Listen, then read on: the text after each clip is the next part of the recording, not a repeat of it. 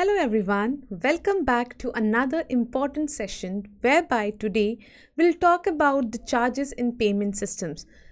अब हम इसके बारे में क्यों बात कर रहे हैं so recently R B I has release a discussion paper on charges in payment system and whereby it states and asks certain questions whether charges should be imposed on payment systems and whether they should be paid so that they can continue the operations as well as innovations in the payment system तो इसके बारे में हम पढ़ेंगे and will also talk about the tussle that is going between R B I and the government तो जैसे ही ये discussion paper आया, वैसे ही निर्मला सीतारमन जी ने बताया कि जो भी चार्जेस हैं यू पी आई पे, वो कभी भी नहीं लगेंगे।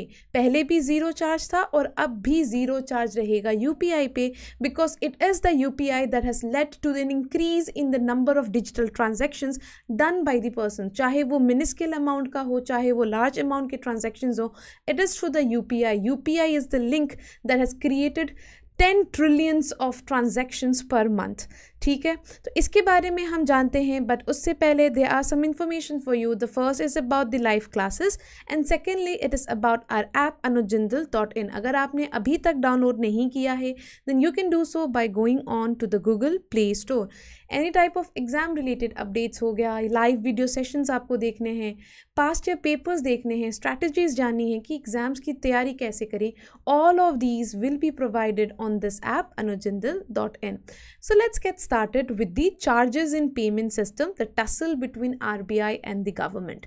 ठीक है?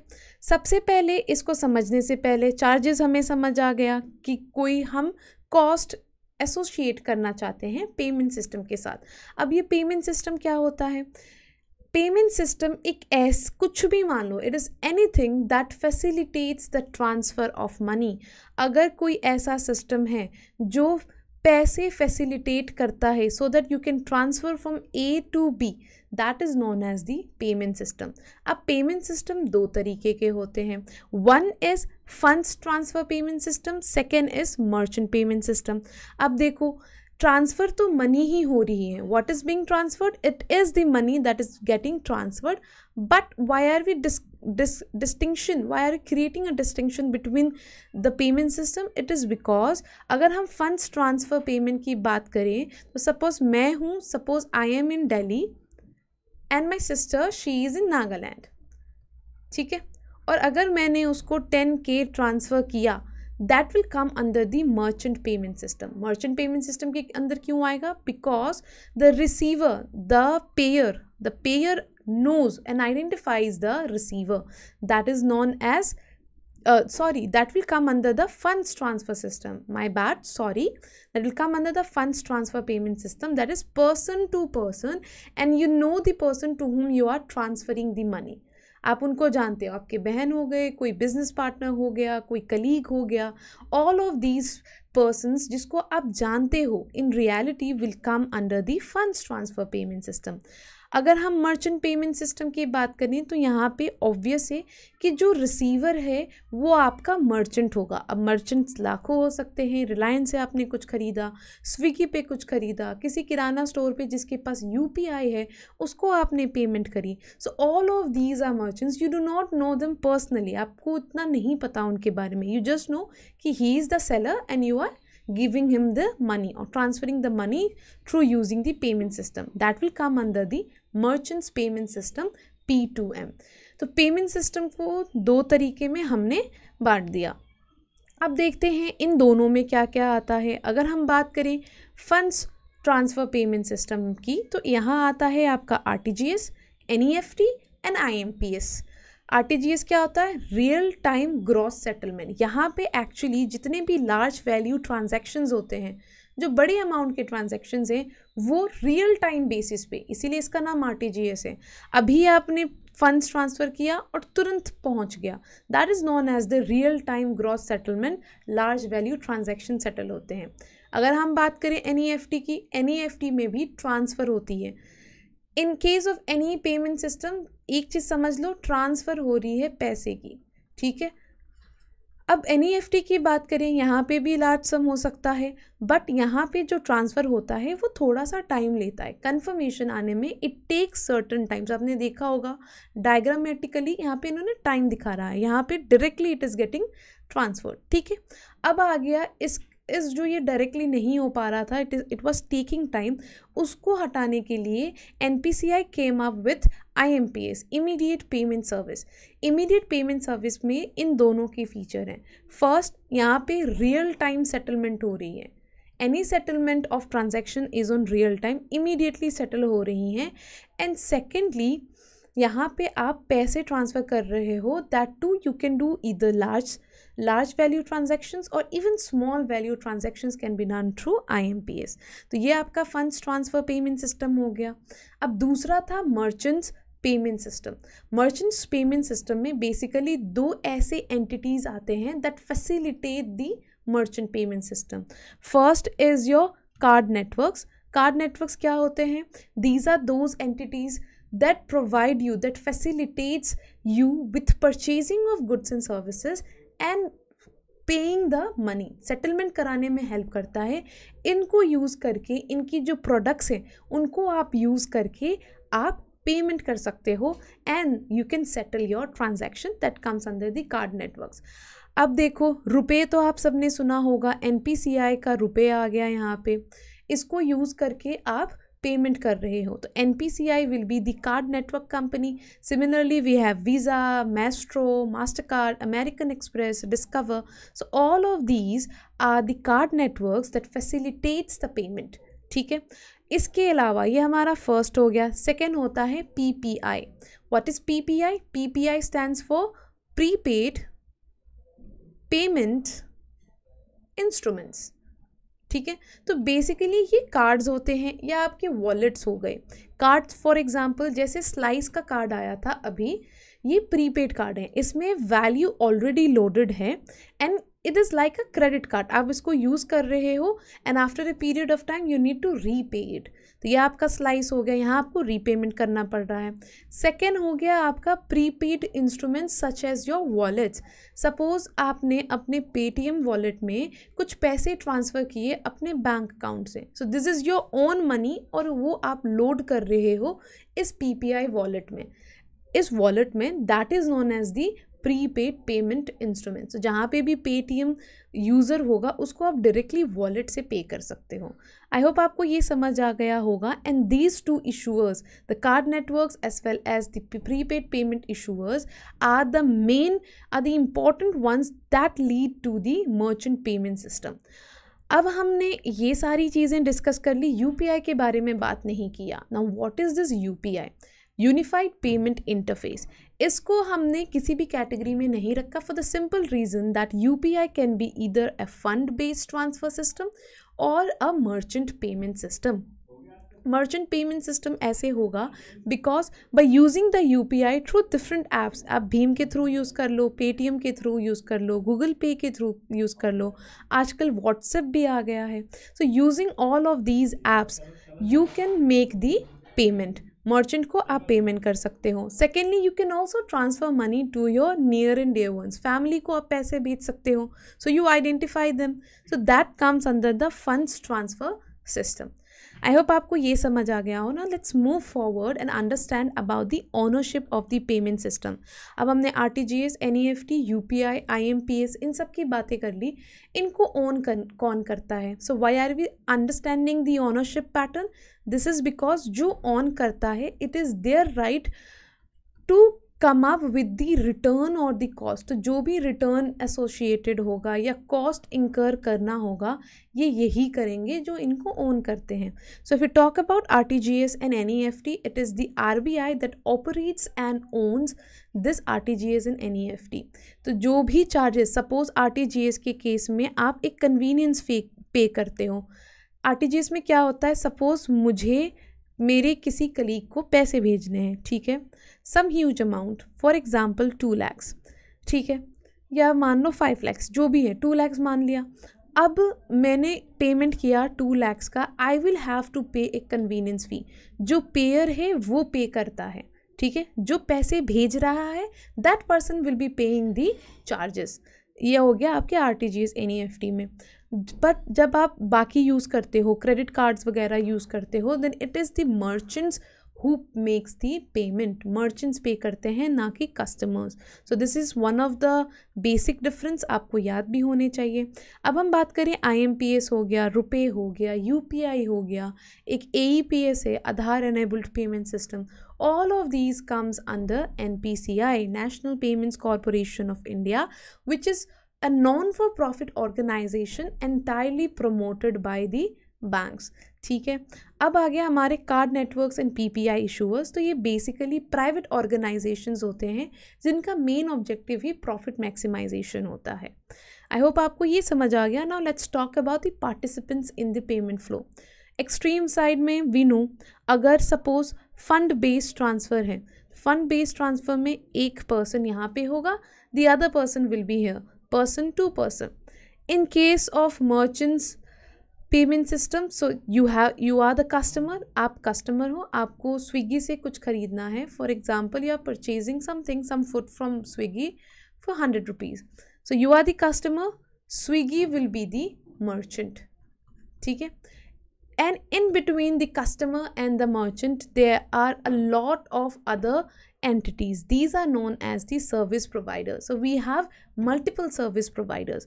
अब इसको हम ध्यान से पढ़ेंगे बिकॉज़ मल्टीपल सर्विस प्रोवाइडर्स में बहुत सारे लोग आते हैं we need to understand each one of them तो क्या होते हैं ये payment service providers so basically they are four of them so ये बोला जाता है जो हमारे पेमेंट सर्विस प्रोवाइडर्स हैं, जो बेसिकली फैसिलिटेट करते हैं that provides you with the facility to make the payments आपको एक गेटवे प्रोवाइड कर देते, एक इंटरचेंज प्रोवाइड कर रहे हैं so that you can make the payments can be a three party system और a four party system three party में क्या होगा? P S O payment service operators payment instrument issuers and the payment acquirers ये तीन आ जाएँगे। Four party में आपका intermediaries आता है। So if you talk about payment service operators तो ये हमारे मोस्ट इंपॉर्टेंट होते हैं। हुआ these these are are card networks N P C I card networks में ही एन पी सी आई आएगा बिकॉज़ रुपे कार्ड का ही कार्ड uh, नेटवर्क जो एन पी सी आई के अंदर आती हैं and the P P I issuers P P I issuers आपके बैंक या फिर नॉन बैंक भी हो सकते हैं। अगर बैंक ने इशू किया तो बैंक हो गया। नॉन बैंक ने इशू किया तो नॉन बैंक एंटिटी आ जाएगी। Now this payment service operators are the ones that decides कि कितना हमें कॉस्ट चार्ज करना है मर्चेंट से, कितना पैसा चार्ज करना है how much charges do we have to levy on the merchant तो मैंने भी आपको बताया था कि only in case of R T G S N E F T वहाँ पे कस्टमर से लिया जाता है जनरली बाकी इस केस में ये होता है कि मर्चेंट्स पे कर रहे होते हैं, ठीक है? तो यहाँ पे जितने भी रूल्स हैं regarding the rules and procedures जो भी हैं regarding the charges of the payments all of these are framed by the PSOs that too by keeping RBI R B I R B I को consideration में रखते हुए। तो R B आई इन चीज़ों को देखता है एंड देन ये डिसाइड करेंगे और आर बी आई उस पर अपनी यस मार्क लगा देता है सीइंग कि हाँ चलो सारी चीज़ें ठीक है। आपको पी एस ओ समझ आ गए payment service operators the most important और ये वो हैं जो फैसिलिटेट करते हैं so that processing can be done settlement can be done of the transactions उसके बाद आते हैं पेमेंट इंस्ट्रूमेंट इशूअर्स नाम से ही क्लियर है। ऐसा बैंक या नॉन बैंक जो आपको इंस्ट्रूमेंट्स प्रोवाइड करता है in order to make the payment what are these instruments these can be cards credit card debit card और your wallets credit cards cards and wallets are the instruments which are issued by the bank or the non bank entities.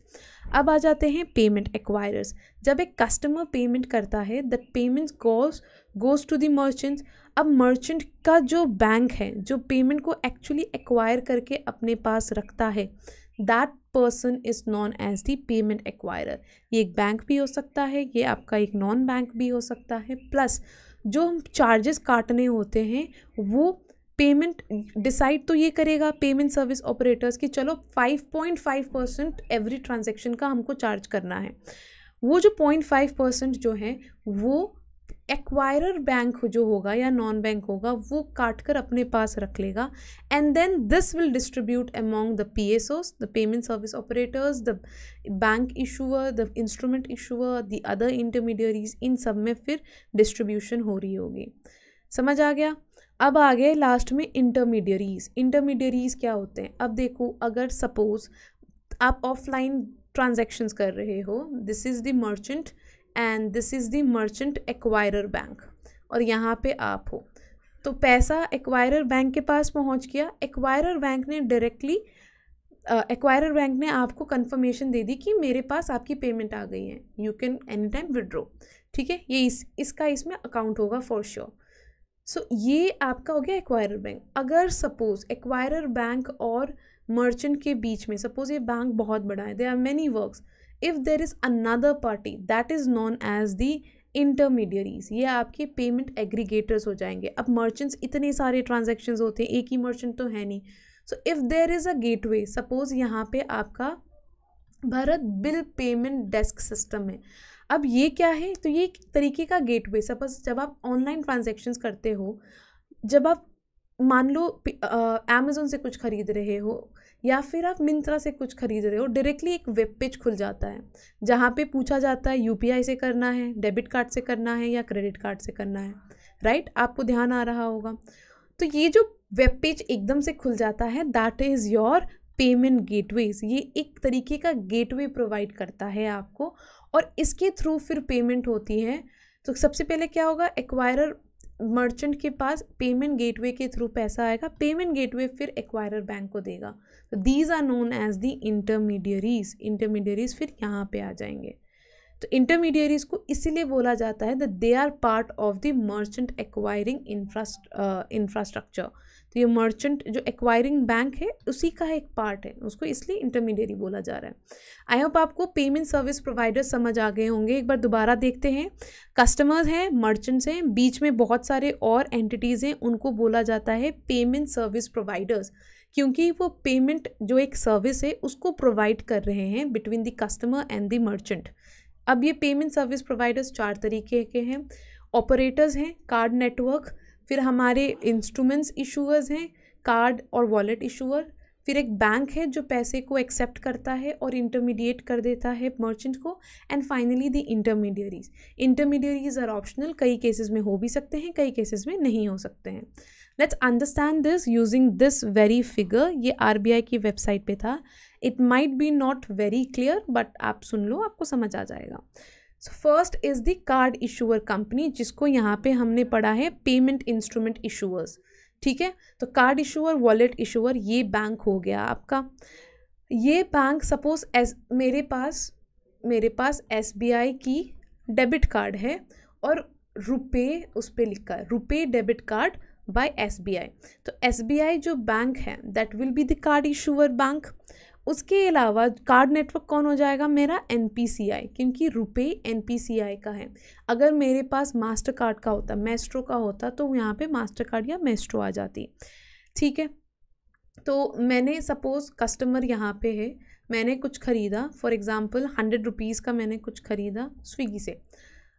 I use my card अब जो card network है, वो authenticate करेगा। आपने यहाँ पे सारे डिटेल्स भर दिए अपने सी वी वी नंबर वगैरह। अब ये ऑथेंटिकेट करेगा कि आपने सही डाला है या नहीं और आपके बैंक में लिटरली उतने पैसे हैं भी या नहीं अगर आप डेबिट कार्ड यूज़ कर रहे हो तो। अगर सब कुछ सही होता है, फिर कार्ड नेटवर्क क्या करेगा? पैसे आपके अकाउंट से डिडक्ट करके एक्वायरर बैंक में भेज देगा एक्वायरर बैंक और नॉन बैंक में भेज देगा। ठीक है? अब ये जो एक्वायरर बैंक और नॉन बैंक है, वो एक और इंटरमीडियरी पेमेंट एग्रीगेटर के थ्रू मान लो, या फिर आपके रेज़र पे आजकल बहुत यूज़ हो रहा है, या फिर Bharat bill payment desk system जो मैंने आपको बताया, जो कि एनपीसीआई का ही है, उसके थ्रू इंटरमीडियरी फिर मर्चेंट को कंफर्मेशन दे देता है कि हाँ जी, पैसा आ गया आपके अकाउंट में। So this is the process आपके पास S RuPay S B I card था। S B I is your card issuer company card network is N P C I अब जो एन पी सी आई है कार्ड नेटवर्क ये decide करता है कि कितना चार्जेस हमें लेने हैं मर्चेंट से, क्योंकि फैसिलिटी वो प्रोवाइड कर रहे हैं मर्चेंट को। ठीक है? उसके बाद एक्वायरर बैंक के पास पैसे आते हैं कार्ड नेटवर्क के पास पैसे नहीं आते, वो बस आपके अकाउंट से डिडक्ट करके एक्वायरर बैंक में जमा करा देता है। एक्वायरर बैंक के पास जो पैसे आए सपोज़ सौ रुपये इसके पास आए, अब ये अपना चार्जेस डिडक्ट करके आगे बता देगा कि हाँ मैंने कर लिए और पैसे मेरे पास आ गए इंटरमीडियरी मर्चेंट को इन्फॉर्म कर देगी। ठीक है? अब ये जो डिडक्ट हुआ है amount this will be distributed among these payment service providers आपका इंटरमीडियरी आपका एक्वायरर बैंक आपका कार्ड नेटवर्क आपके card issuer company I hope आपको समझ आ गया। Now let's move forward and understand the type of charges क्या क्या चार्जेस लगाए जाते हैं so first and foremost and the most important is the merchant discount rate जिसको हम मर्चेंट सर्विस फ़ी भी बोलते हैं मर्चेंट डिस्काउंट रेट ऐसा रेट होता है जो एक्वायरर बैंक जो ये एक्वायरर बैंक है जिसके पास पैसे रिसीव हो रहे हैं वो मर्चेंट से चार्ज करता है for providing the facility of deducting the money from the card from the customer and keeping और sending it to the merchant. ठीक है? तो these are charges charges are recovered recovered by the acquiring bank या non bank अभी के लिए मैं bank बोल रही हूँ from the final recipient of the money जो पैसा रिसीव करेगा। रिसीव कौन करेगा? हमारा मर्चेंट उसको हम बोलते हैं मर्चेंट डिस्काउंट रेट ठीक है? अब ये जो मर्चेंट डिस्काउंट रेट है ऑब्वियसली कंपनजेट करने के लिए है सारे पेमेंट सर्विस प्रोवाइडर्स को। एक्वायरर बैंक के पास आ गया, वो चारों में बांट लेगा। अब डिस्ट्रीब्यूशन कैसे होती है मर्चेंट डिस्काउंट रेट की? तो मैंने बोला थ्री पार्टी या फिर फोर पार्टी हो सकती है। तो जो थ्री पार्टी हैं, आपके कार्ड इशूअर्स हो गए, फिर कार्ड नेटवर्क हो गया एंड दी एक्वायरिंग बैंक इन तीनों में जो डिस्ट्रीब्यूशन होगा, वो होगा एज पर what is decided by the payment service operators in consultation with RBI ठीक है? इन तीनों के बीच, इन तीनों के बीच जो भी होगा, वो कार्ड नेटवर्क ही डिसाइड करेगा, ठीक है? अब जो एक्वायरर बैंक के पास सपोज़ कुछ पैसे आ गए, अब एक्वायरर बैंक को इंटरमीडियरी के साथ भी शेयर करना पड़ेगा। ये अब म्यूचुअल अग्रीमेंट पे डिपेंड करता है। That what is the mutual agreement between the intermediary and the acquirer bank I hope आपको समझ आ गया। Next is the interchange fee what is this interchange fee तो इंटरचेंज फ़ी दो तरीके की होती हैं और ये आपके मर्चेंट डिस्काउंट रेट से ही निकाला जाता है। ये जो कार्ड नेटवर्क है सपोज़ मेरे पास रुपए का कार्ड था। मर्चेंट का जो अकाउंट है वो उसका जो मर्चेंट uh, का जो अकाउंट है जिससे वो यूज़ करेगा that is of Mastercard तो दो अलग अलग कार्ड नेटवर्क्स हो गए। तो इसको इंटरचेंज करता है हमारा card network and it charges certain percentages from the merchant discount rate only जो एक्वायरर बैंक को देगा, उसी में से वो चार्ज करेगा. That is known as the interchange fee उसके अलावा सिंस मर्चेंट को या फिर कार्ड इशूवर को जो कार्ड इशू किए गए हैं credit cards interest free issue किए जाते हैं तो उसका इंटरेस्ट की भरपाई भी मर्चेंट डिस्काउंट रेट से ही होती है. ये जो डिस्काउंट लेते हैं, उसी से इसकी भरपाई की जाती है. आई होप आपको ये समझ आ गया। अब आते हैं कन्वीनियंस फ़ी की। Convenience fee basically online platforms पे ज़्यादा लगाया जाता है। जब भी आप कभी, मैंने तो एग्ज़ाम फॉर्म्स में देखे हैं। अगर सपोज़ आप आरबीआई या कोई से एग्ज़ाम की फॉर्म भर रहे हो फॉर्म का फॉर्म सपोज़ हज़ार रुपये का है, उस पर आपको twenty eight percent convenience fee pay करना है। ठीक है? Why because they are providing that gateway जो भी गेट वे है ऑनलाइन प्लेटफॉर्म है that is providing you with the facility to the convenience to make the payment to R B I R B I को payment करने के लिए ये convenience provide करता है। ऐसा इसलिए करते हैं, कई बार मर्चेंट डिस्काउंटेड इनको रिसीव ही नहीं होता। इसलिए पहले ही वो अपना चार्ज कर लेते हैं। Two rupee, two eighty rupees extra तो आप one two eight zero finally pay कर रहे होते हो। Twenty eight percent goes to the payment gateway जिसने ये फैसिलिटी प्रोवाइड की कन्वीनियंस प्रोवाइड किया for you to make the payment तो ये हो गया हमारा कन्वीनियंस फ़ी ये कौन पे करता है? कस्टमर्स पे करेंगे। यहाँ पे मर्चेंट मतलब मर्चेंट तो नहीं कहेंगे बट सपोज़ आर का एग्ज़ाम है आर के पास पैसे जा रहे हैं। तो कस्टमर जो जमा करवा रहा है the payer will be the one जिससे कन्वीनियंस फ़ी चार्ज किया जाएगा। Finally we have the surcharge so surcharge जो है, वो कई बार क्या होता है कि जो मर्चेंट डिस्काउंट रेट है, वो तो मर्चेंट से आप ले रहे हो कस्टमर्स कुछ पे नहीं कर रहा। कई बार मर्चेंट्स को ऐसा लगता है कि बहुत ज़्यादा ही अनरीजनेबली हाई चार्ज कर लिया गया है उनसे। उसको कंपनसेट करने के लिए वो क्या करते हैं सपोज़ आपने दस हज़ार के कुछ शूज़ और कपड़े ख़रीदे। उस पर इन्होंने सरचार्ज लगा दिया कि इस पर दस परसेंट का सरचार्ज हमने लगा दिया। हज़ार रुपये आपको एक्स्ट्रा और पे करना है। तो आपने ग्यारह हज़ार रुपये पे किया। दस परसेंट बहुत ज़्यादा है। It would be around two point five percent one percent कुछ भी हो सकता है सरचार्ज तो मर्चेंट जब कस्टमर्स पे लगाता है for processing of any transaction that is known as the surcharge अब मूव ऑन करते हैं and let's understand the merchant discount rate कि ये कैसे चार्ज होता है। फॉर एग्जांपल ये एक इलास्ट्रेशन है, ये भी आरबीआई की वेबसाइट पे था। अगर point five percent is the merchant discount rate और कस्टमर्स कस्टमर ने सौ रुपये का ट्रांजेक्शन किया स्विगी पे। Your merchant is Swiggy and the card holder for example मैं ही हूँ, गुलाब सा। ठीक है? तो मैंने सौ रुपये का ट्रांजेक्शन किया। अब कार्ड अब देखो, जो ये तीन आ गए हमारे पेमेंट सर्विस प्रोवाइडर्स इसने मुझे कार्ड प्रोवाइड किया हुआ है। फिर कार्ड नेटवर्क है जो इंटरचेंज करेगा। सपोज़ अलग अलग कार्ड्स हैं तो मेरा रुपए का कार्ड है, इसका मास्टर कार्ड है।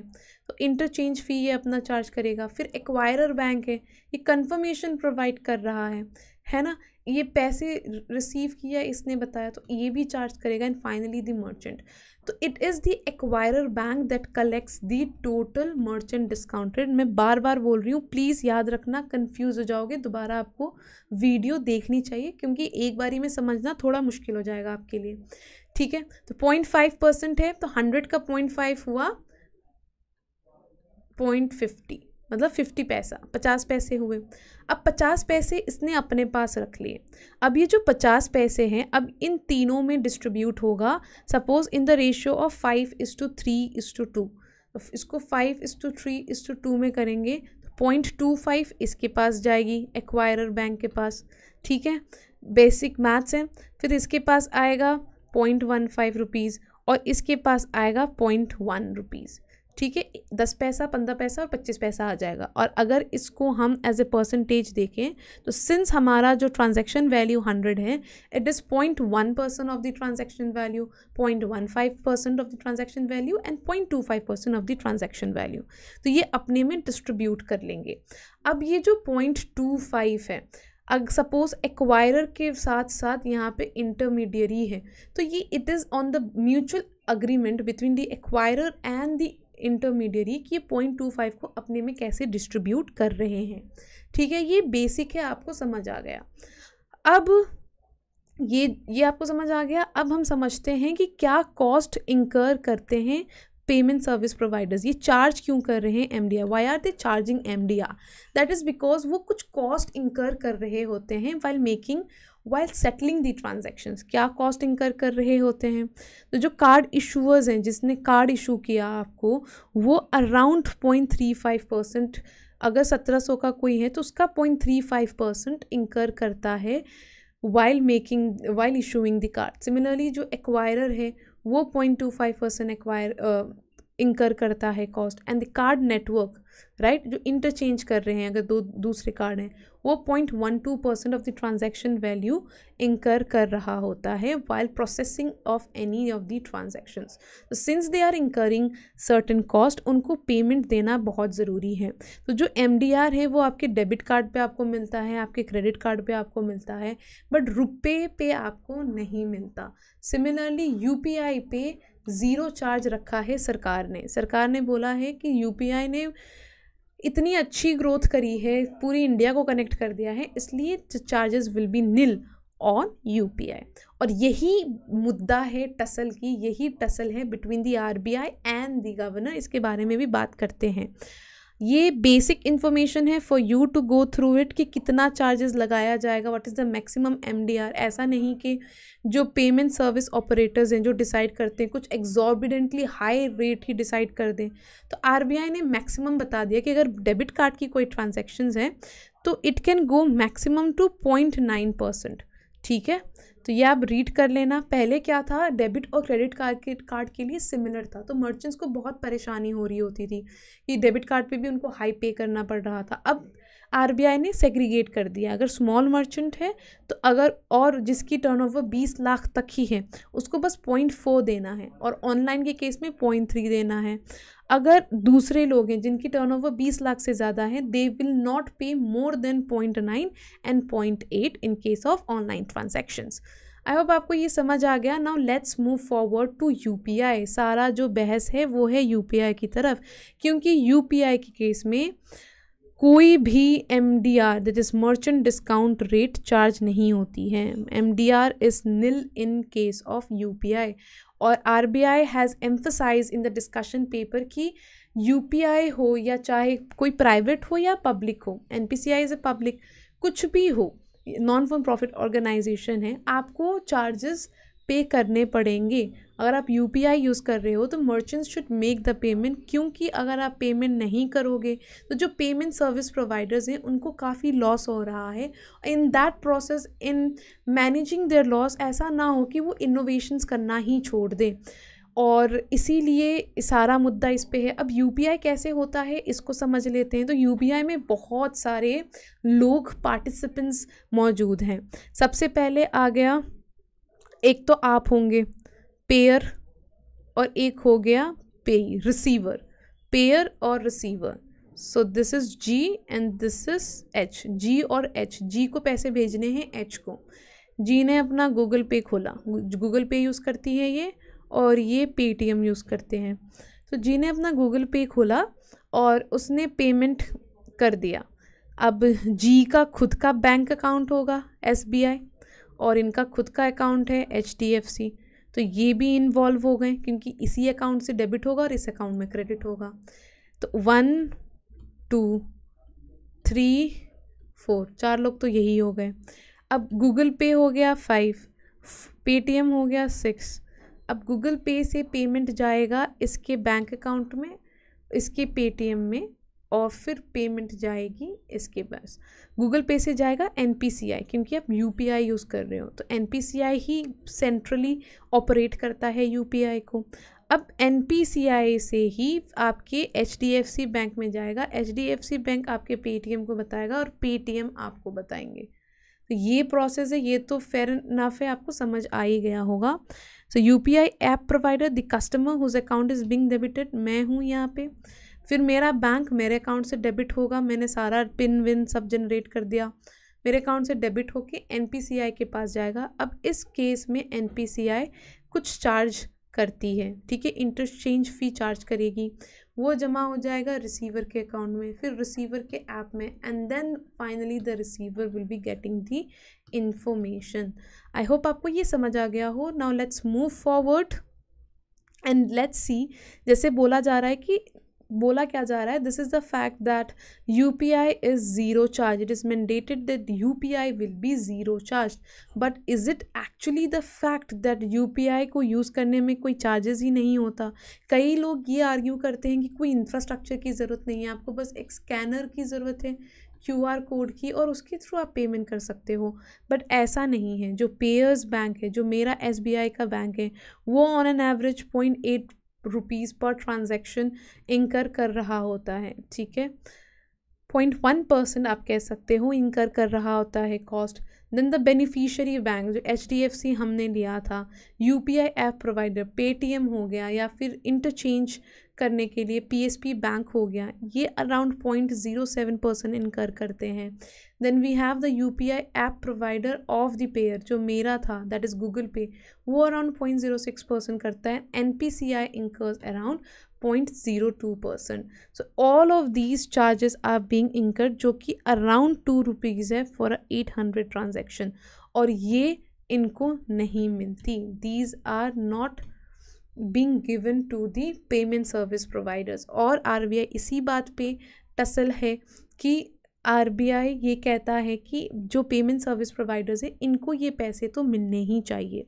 So what is the tussle let's see between the R B I and the government so so, first समझते हैं कि 2020 में एक अमेंडमेंट लाया गया था हमारे इनकम टैक्स एक्ट को अंडर सेक्शन 269 एस यू जिसमें ये मैंडेट किया गया था that for any kind of U P I transactions there will be a zero charge M D R for U P I ठीक है? कोई चार्ज नहीं लिया जाएगा मर्चेंट से। इसलिए आपने देखा होगा अगर आपने सपोज़ मैंने नी मैन से एक बारी जूते खरीदे थे ठीक है?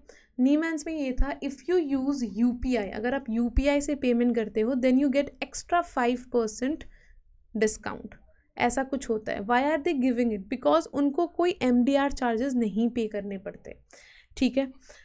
ऐसा क्यों कह रहा है? पर आरबीआई क्या कहती है? आरबीआई कह रही है, चाहे गवर्नमेंट एंटिटी हो, चाहे प्राइवेट एंटिटी हो they should earn income for the for the services that they are providing क्यों? सो so दैट जो उनकी ऑपरेशन है, वो उनको कंटिन्यू रख सकें और इन्वेस्टमेंट कर सकें नई टेक्नोलॉजी में, नई सिस्टम में, नई प्रोसेस में। If they are not getting adequately why would they further invest in technologies वो टेक्नोलॉजीज़ में क्यों इन्वेस्ट करेंगे? ठीक है।